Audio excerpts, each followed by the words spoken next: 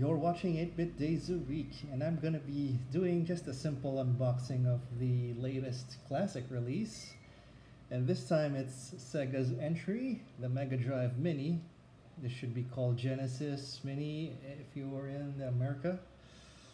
And uh, this is actually the Asian version. This is a bit different from the Japanese version.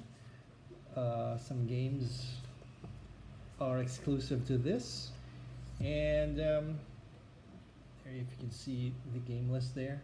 I actually chose this over say the Japanese or the American version because um, against the American version this actually has the six button controller.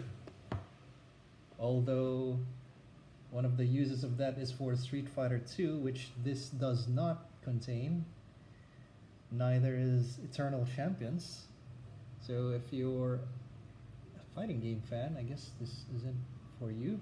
It doesn't also contain the Virtua Fighter 2 or even the Yu Yu Hakusho that's found in the Japanese version. So, well, I hope um, this would have a like a mod soon to be able to add more games, kind of like how the NES Classic and the SNES Classic are these days. So, alright, let's go ahead and try to. Uh, alright.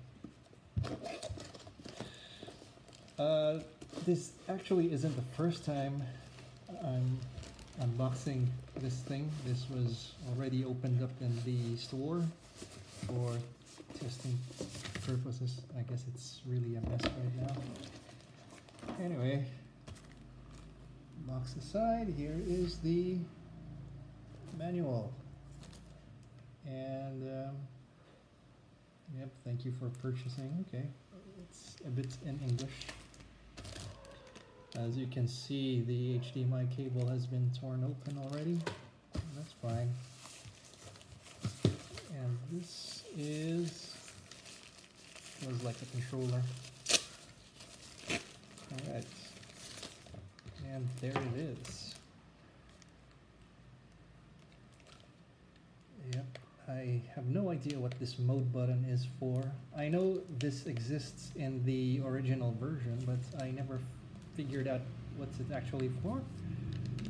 So once again, I, um, this is kind of smaller than the three button controller despite having more buttons. And um, I'm actually a fan of this. Can't wait to try it out. I like I um I got used to this layout. Even if I grew up with the SNES and yeah I never really had a Mega Drive when I was young. Uh, this is the other controller. Okay. And um, here is the console.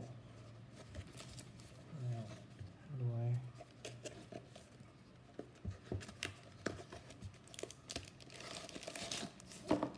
Alright, so here it is. Oh, still has the... Yeah, because we can open this. Let's see what it looks like inside. Let me remove this.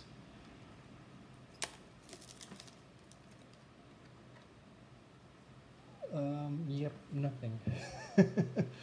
no, like fake pins or anything volume control, power, reset. Um, yeah, I don't think this volume control does anything.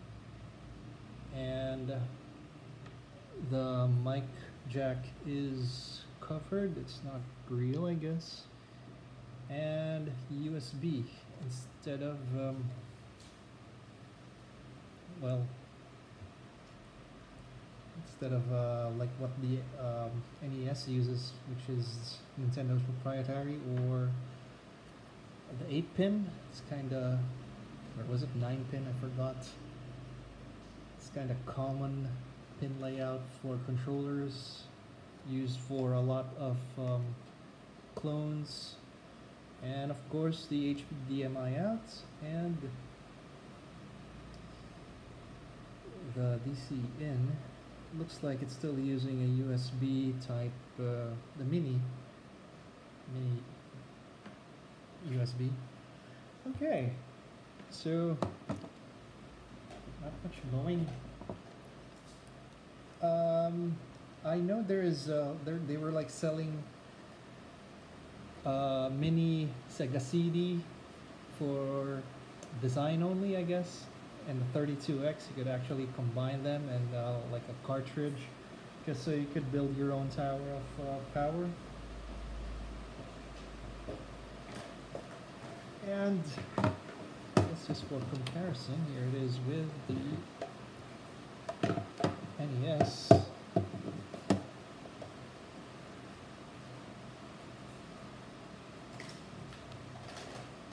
Almost uh, the same size, I guess. Actually, I think. Yeah. This uh, little emulation box. I guess they're they're all gonna come in the same size. Here's the Chief Rival, the SNES Classic.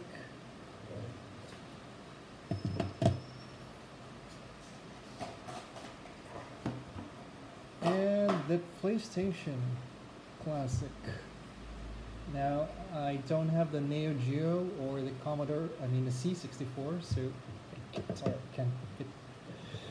Oh, there you go. Yeah, this thing is really zoomed in, I don't. This, this is the farthest I can go. Anyway, there you go. All of them together. Nice. And uh, PC Engine or Turbo, TurboGrafx coming soon.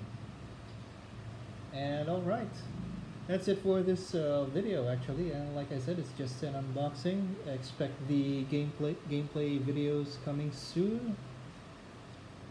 Um, probably trying out the controller as well for whatever other things we could do with it, maybe on the PC again. Um, it's good that they included three controllers. Well, let's see how this actually, how far does it go? I could just remove this.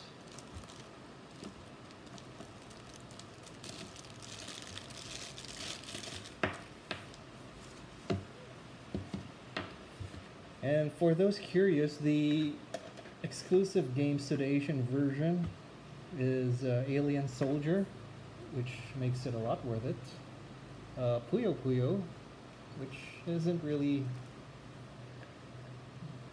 uh, that worth it because there's already another version of Puyo Puyo on the other releases. Outrun 2019 and uh, Shining Force 2, The Sword of Vermilion, a pair of uh, RPGs. Uh, okay, cannot show how long this is in the video, but um, it's significantly longer than the NES, any of them. I think is the longest. okay. Um, so that's it. My thoughts on which you should buy. Um, I guess if you have like a nostalgic attachment to, say, Earthworm Jim, Shinobi 3, Sonic Spinball, and ToeJam and Earl, go ahead, go for the American version. And uh, they do sell uh, six button controllers